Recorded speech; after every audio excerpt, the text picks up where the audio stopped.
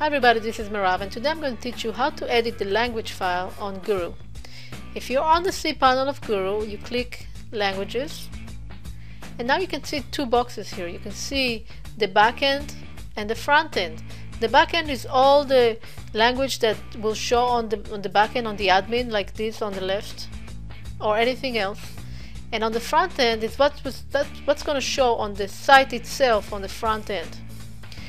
Now it's very simple. If you want to change anything, you just have to change whatever comes after the equal sign.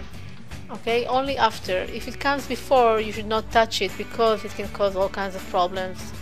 Alright? And then if you want to find something, what I do is I do Control F